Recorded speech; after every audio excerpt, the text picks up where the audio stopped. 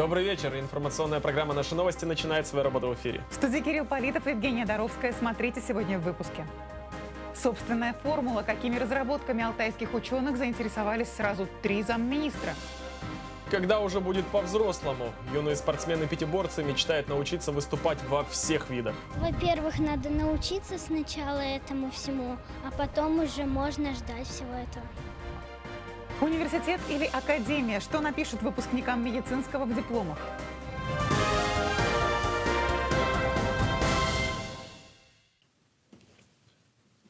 Итак, вот уже несколько недель студентов одного из самых старых и уважаемых вузов Алтая будоражат неприятные слухи. Алтайский государственный медицинский университет проходит аккредитацию, итоги которой пока не вполне ясны. Главные опасения выпускающихся врачей в ближайшее время их универ могут понизить до академии. Соответствуют ли слухи действительности, попытался разобраться Михаил Ширин. Дипломы не выдадут совсем, а пройденные с таким трудом ГОСы заставят пересдавать осенью. Это лишь малая часть слухов, гуляющая среди выпускников Барнаульского меда. А говорю сразу, все опасения о возможных итогах идущей нынче аккредитации ГМУ студенты высказывают в соцсетях и в приватных беседах. На камеру они воплощение оптимизма. Я думаю, что навряд ли мы станем академией. Мы уверенно защитили свой вуз. Ну, не знаю. Возможно, какие-то злые люди хотят нам навредить. Их бы спокойствие до сотрудникам вуза. В ожидании решения комиссии нервы у последних, судя по всему, на пределе. Идите, пожалуйста, где-нибудь вот там снимайте, убирайте. Вы нам право не имеете указывать? Мы не можем запретить, но и находиться здесь мы не можем разрешить. Предпосылок к тому, что один из ведущих медицинских университетов Западной Сибири, созданный в 1954 году, по легенде не без помощи самого Хрущева, и впервые вошедший в сотню лучших вузов России по итогам 2014 года, может сменить статус на сегодня нет. Ежегодный мониторинг заведения всегда проходило нормально. Но если даже вдруг такое и произойдет, то дело это отнюдь не быстрое, и выпускники 2015 года получат нормальные дипломы, уверены специалисты. Для студентов не надо будет пересдавать никакие государственные экзамены. Им не надо будет пересдавать никакие зачеты и что-то там еще. Им не надо будет бояться, что они не получат диплома, будут ждать какое-то время. В старейшем университете края о смене статуса знают не понаслышке. В 2008 году, не пройдя аккредитацию, педагогически стал академией и вернул себе гордое имя университета только в 2014 году. При этом за семилетний академический период здесь не упали ни качество преподавания, ни его финансирование. Ну, может быть, появился некий осадок разочарования. Возможность грызть гранит науки у студентов-медиков, конечно, никто не отберет. Но вот останется ли этот гранит с э, привычным классическим вкусом университета или опреснее до академии, покажет время. Повара пока молчат. Михаил Ширин, Алексей Фризин. Наши новости. Разработки алтайских ученых в сфере медицины и биотехнологий заинтересовали федеральный центр. Сегодня в крае прибыла представительная делегация. В ее составе сразу три замминистра из Министерств экономического развития, промышленности и торговли, образования и науки, а также вице-президент фонда Сколково. Чем обязан край на такому наплыву высокопоставленных чиновников и какая в том польза нашим ученым, расскажет Юлия Гадар. Новый препарат химозин – искусственно выведенный фермент-аналог желудочного сока телят, который необходим для производства сыров. В течение 20 лет российские промышленники были вынуждены покупать дорогостоящий ингредиент за рубежом – в Италии и Германии. Теперь, благодаря разработкам Алтайского инжинирингового центра «Промбиотех», в нашей стране есть собственная формула, по которой можно наладить производство ценного фермента. А в этой лаборатории работают с семенной тканью сельхозкультур. Из одной картофелины можно получить сразу 300 клубней, которые не будут поддаваться плесени и гниению. Вот перед вами а, показанный посадочный, показан посадочный материал. Все наглядно и доступно. Результат работы докторов наук и лабораторий, десятки разработок, эксперты из Москвы оценили как вполне перспективные. Оценки и рекомендации специалистов такого уровня, они чрезвычайно важны. Совершенно очевидно, что вы на правильном пути, и мы будем оказывать э, всяческую поддержку по э, всем направлениям. Министр экономического развития России также заметил, что на фоне 20 регионов России, где существуют подобные научные центры, Алтайский край занимает достойную позицию. Однако подчеркнул, что это далеко не повод для гордости. Выглядит хорошо. С одной стороны, это заслуга Алтайского края, с другой стороны, недоработка других регионов, потому что я в своем выступлении говорил, что у нас, к сожалению, э, вот э, со времен распада Советского Союза очень сильно просело вообще э, направление биотехнологий, в первую очередь промышленные биотехнологии. Ясно, что для внедрения разработок краю необходимы серьезные денежные вливания. И сегодняшнее подписание соглашения о сотрудничестве между администрацией Алтайского края и инновационным центром Сколково увеличивают возможности того, что крупные инвесторы заинтересуются перспективными проектами. И еще, теперь наш край сможет участвовать в конкурсе на государственную поддержку в числе 66 регионов. Однако каковы будут размеры транша в случае победы, пока неизвестно. Юлия Гадар, Павел Лауранин. Наши новости. А главный турист мира сегодня высоко оценил природный потенциал региона. Генеральный секретарь Всемирной туристской организации Тали Прифай обсудил с губернатором края перспективы развития ее. Одной из них станет включение Алтайской академии гостеприимства во всемирную сеть кадрового развития туризма. Это поможет обмениваться опытом с сотней учебных заведений подобного профиля. Тали Прифая приехал на Алтай впервые. В планах гостя в ближайшие дни посетить курорт Белокуриха, комплекс «Бирюзовая Катунь», форум «Алтай. Точки роста». Кстати, сегодня он отметил, что наш регион свободно может использовать бренд Всемирной туристической организации при проведении масштабных мероприятий, подобных АТР. Кроме того, Рифай оценил выгодное расположение Алтая. Вы находитесь в центре, в сердце э, шелкового. Now everybody in the world is talking about the Silk Road. Сейчас все в мире говорят о шелковом пути. Моим советом было бы то, чтобы вы пользовались этим. Сегодня алтайские депутаты обсудили предложение местных ученых вернуть наш регион в привычный ему часовой пояс плюс 4 часа к Москве.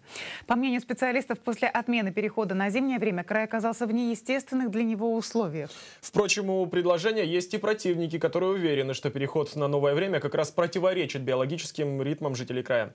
Мнение выслушала Маруся Загорска. Алтайские ученые предложили вернуть наш регион в привычный ему часовой пояс плюс 4 часа ко времени по Москве. После последней временной реформы осенью 2014 года наш регион навсегда остался в зимнем времени. И теперь деревенские жители, которые просыпаются с рассветом, вынуждены начинать рабочий день чуть ли не в 3 часа ночи. А сотрудники офисов, наоборот, работающие до 6 вечера, не успевают до дома добраться до сумерек. В Барнауле рабочий учебный день начинается в 8 утра и 21 декабря, когда восход солнца наблюдается в 8 часов 40 минут. И э, 21 июня, когда восход наблюдается в около 4 часов утра. Таким образом, продолжительность светового дня изменяется от 7,5 до 17 часов.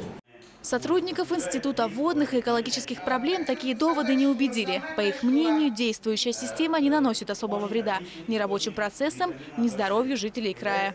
Многими известными специалистами в области исследования суточных ритмов человека, как зарубежными, так и отечественными, отмечается, что темное утро более неблагоприятно сказывается на состоянии человека, чем темный вечер, так как циркадные ритмы или биологические часы человека синхронизированы с циклами света и тьмы. Алтайские депутаты нашли здравое зерно в каждом из полярных мнений и попросили ученых более тщательно проработать вопрос перехода в новый часовой поезд. Ведь принять такое решение на местном уровне не удастся. Если край и отправится в путешествие во времени, то только вместе с соседними регионами. Для этого нужно доказать федеральному центру необходимость перехода на новое время.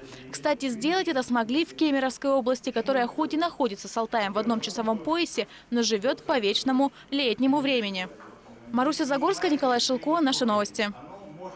В юбилейный год Великой Победы мы продолжаем рассказывать историю алтайских боевых соединений. Не каждой дивизии удавалось пройти войну от начала до конца. И наш сегодняшний сюжет о бригаде лыжников, которая в одном роковом сражении под городом Севском геройски погибла почти в полном составе. Слово Екатерине Гаськовой.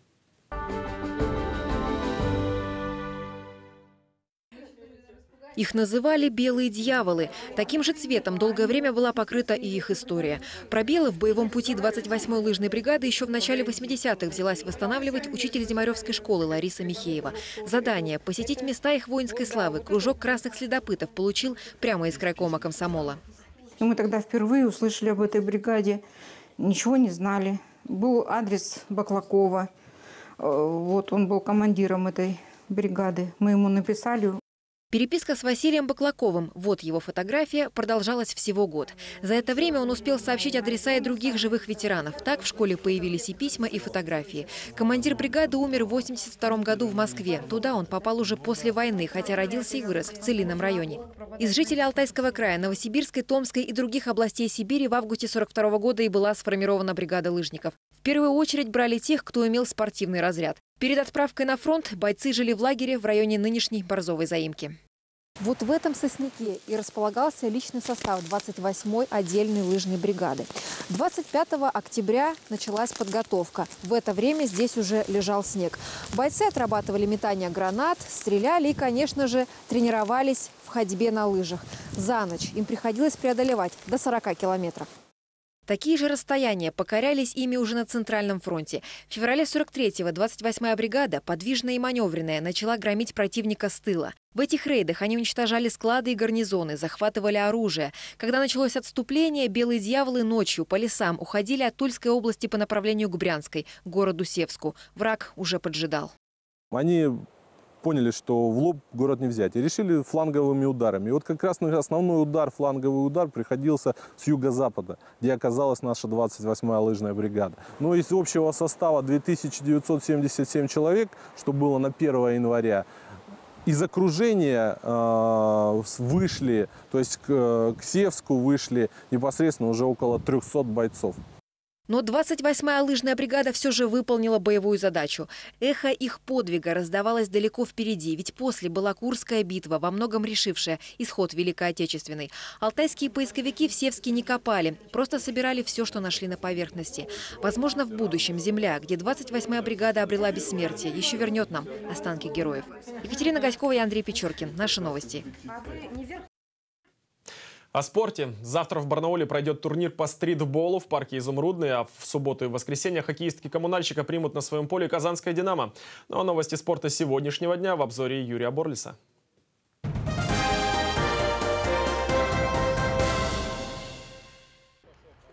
Сборная Алтайского края по современному пятиборью, тренируемая Андреем Пшеницыным, это Дю США-10, Рубин, сверхуспешно выступила в двоеборье. Это плавание плюс бег.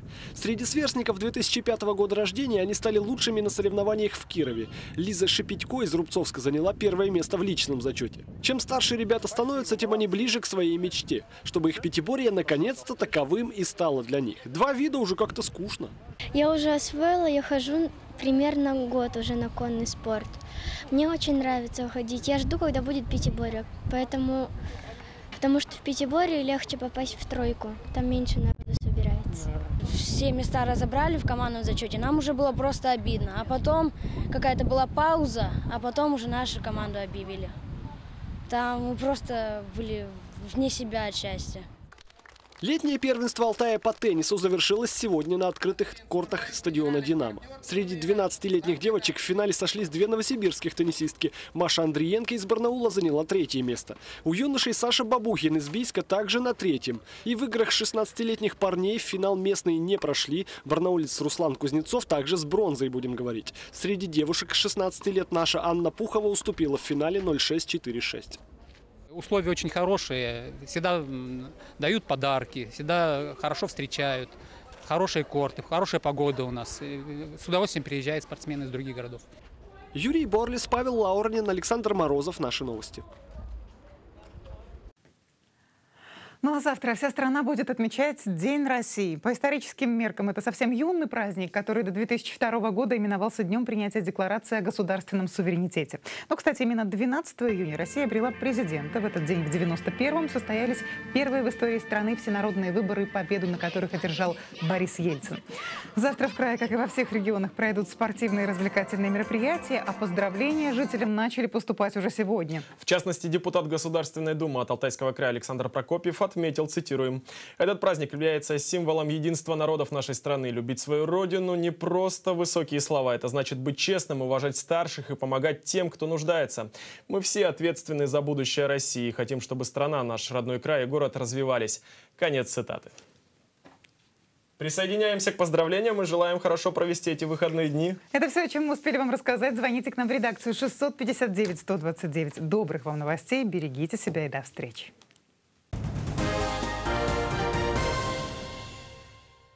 Только три дня, чтобы похудеть? Не сомневайтесь. Турбослим Экспресс. За три дня до минус трех сантиметров в талии. Турбослим Экспресс. Экспресс похудения за три дня.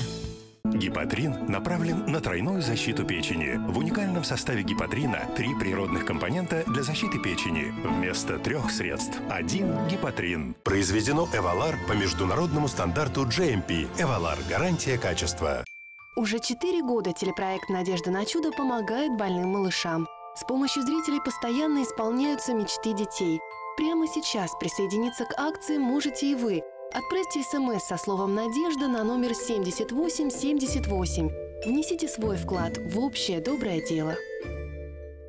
Только три дня, чтобы похудеть? Не сомневайтесь. Турбослим Экспресс. За три дня до минус трех сантиметров в талии. Турбослим Экспресс. Экспресс похудения за три дня. Гепатрин направлен на тройную защиту печени. В уникальном составе гепатрина три природных компонента для защиты печени. Вместо трех средств один гепатрин. Произведено Эвалар по международному стандарту GMP. Эвалар – гарантия качества.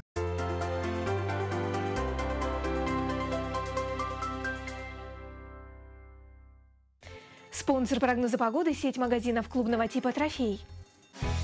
Отличный вариант загородного жилья от 500 рублей за квадрат. Палатки в сети магазинов «Трофей». Огромный выбор палаток высокого качества по доступным ценам на любой вкус и кошелек. Сеть магазинов «Трофей». Добрый вечер. О погоде на пятницу в студии Олеся Фролова. По прогнозам синоптиков, характер погоды особо не изменится. В крае сохранится переменная облачность, порывистый западный ветер и кратковременные грозовые дожди. Возможен град. Температура воздуха немного подрастет. Ночью в среднем от 9 до 14 выше 0. Днем от 23 до 28 градусов. В Алейске и Белокурихе, так же как в Змеиногорске и Рубцовске, временами небольшие осадки, а на термометрах плюс 25. В Славгороде малооблачно до плюс 23. Столько же в Колунде. В Тальменке возможен дождь и плюс 21, а в Камне на Оби, как в Заринске, временами осадки и плюс 22. В Бийске около 24 выше 0. В Барнауле ночью плюс 13-15. Днем возможен кратковременный дождь. Западный ветер будет умеренным и плюс 23-25. Барометры покажут атмосферное давление ниже нормы – 740 миллиметров ртутного столба. Удачных вам выходных. До свидания.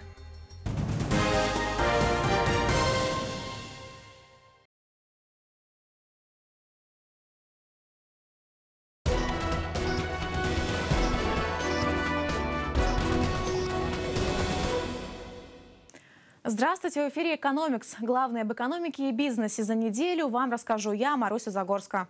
Предупредительный выстрел мы сделали в прошлом году. Пора стрелять на поражение. Так заместитель руководителя Федеральной антимонопольной службы потребовал от местного ведомства ужесточить наказание за картельные сговоры. Кто и за что окажется на мушке у антимонопольщиков, расскажем в основной части программы. А сейчас обзор в Барнауле создадут систему платных парковок. С их помощью хотят улучшить ситуацию на дорогах города и получить дополнительные средства в бюджет. На первом этапе изучат транспортную обстановку в Барнауле, на втором проработают проект с учетом опыта Москвы и Красноярска. Власти предполагают привлечь частных инвесторов. Российские коммерческие банки снизят проценты по потребительским кредитам в июле этого года. Им теперь придется ориентироваться на максимальные ставки государственных банков, которые, как правило, ниже, чем у других. Снижение может составить до 2 процентных пунктов. Единственное казино в горной зоне «Сибирская монета» Алтай Пэлас закрывает свои офисы в городах Сибири. Так руководство заведения пытается оптимизировать расходы. Сеть представительств начала развиваться лишь 4 месяца назад. При всей оптимизации в казино строится вертолетная площадка. В России могут исчезнуть индивидуальные предприниматели. На федеральном уровне обсуждается вопрос перевода крупных ИП в форму ООО, а мелких в так называемую самозанятость. Таким образом, хотят устранить случаи, когда индивидуальные предприниматели имеют большие прибыли, чем крупные компании, но платят меньшие налоги.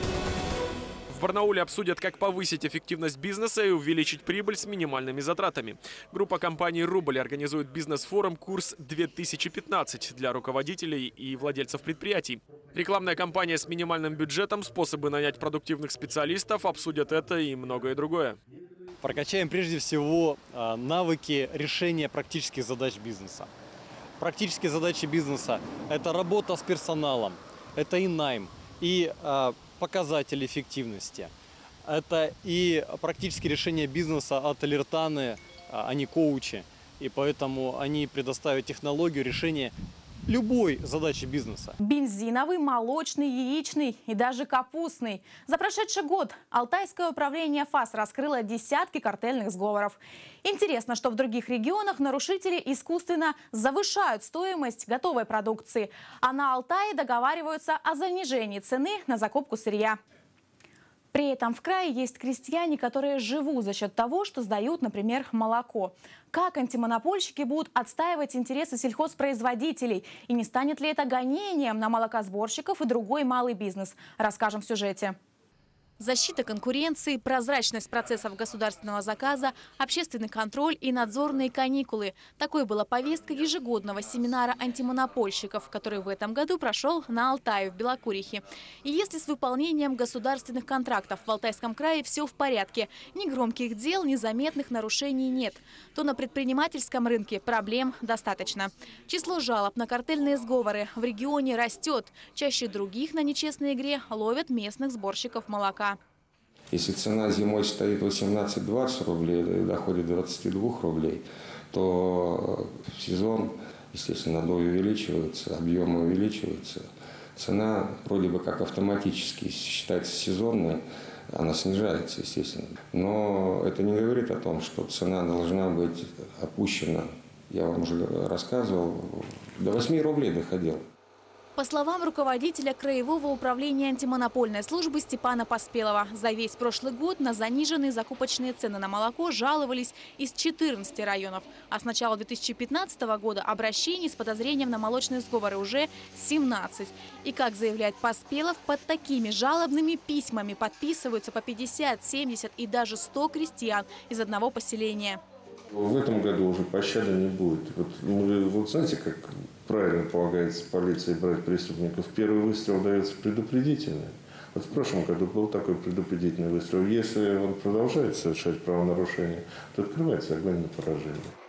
В то же время антимонопольщики беспокоятся, что привлекать нарушителей на рынке закупа сырого молока и другой сельхозпродукции уже в ближайшем будущем станет сложнее. Дело в том, что на федеральном уровне прорабатывается закон, который даст малому микробизнесу каникулы от массовых проверок. В первую очередь иммунитет получат так называемые частники, которые в большинстве своем и занимаются закупом сырья. Требуется оперативнее перейти от системы тотальных проверок к новой модели, основанной на рискоориентированном подходе. При планировании проверок исходить прежде всего из целесообразности учета имеющихся рисков. Проверять нужно там, где предпринимательская деятельность несет риски для жизни и здоровья людей – Конечно, в регионе будут защищать конкуренцию и регулировать ценообразование. Но новая основная задача на будущее – сокращение бюджетных издержек и контроль трат. ФАС теперь отвечает за прозрачность системы госзакупок. А с 1 июля в стране вся система надзора должна стать публичной. Все проверки будут вносить в специальный реестр. А излишнее и необоснованное внимание к бизнесу – караться. Антимонопольная служба края в ближайшие годы переключится с мелких разбирательств на более крупные и важные задачи. Это была программа «Экономикс» и я Маруся Загорска. До встречи. Будет новый день и новые деньги.